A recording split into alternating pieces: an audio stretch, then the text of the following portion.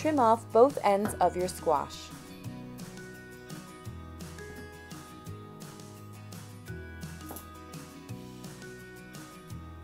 Slice down the squash at a slight bias to your preferred width.